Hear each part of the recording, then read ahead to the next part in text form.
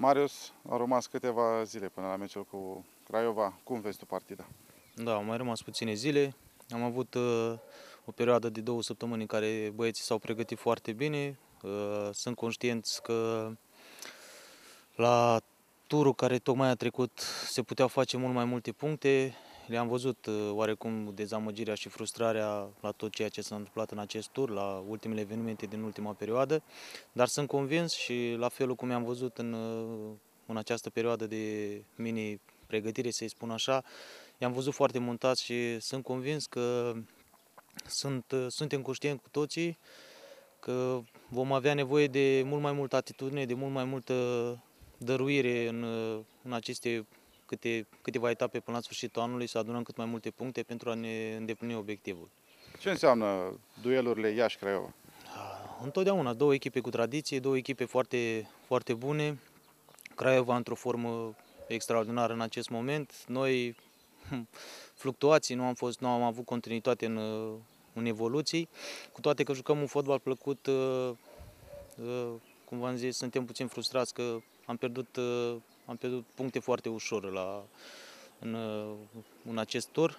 Sperăm ca din, din începând cu meciul Craiova să, să nu mai repetăm greșelile din, din tur și să, să acumulăm cât mai multe puncte pentru că avem nevoie.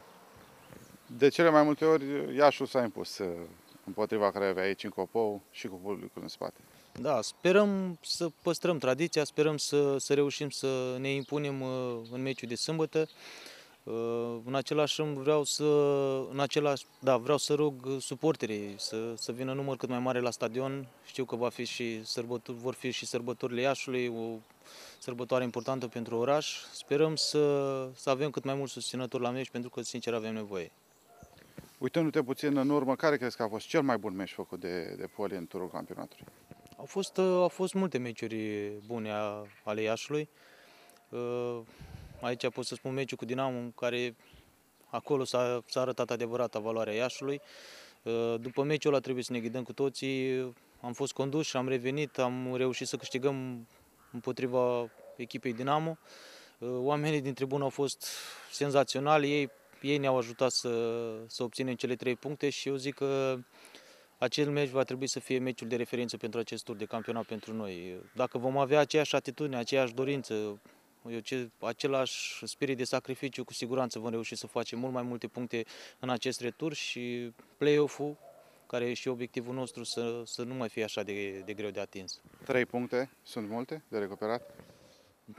La, la noi, în, în acest campionat, trei puncte e nimic, dar cu trei puncte câștigate poți să ajungi sus, cu trei puncte pierdute poți să fii și mai jos.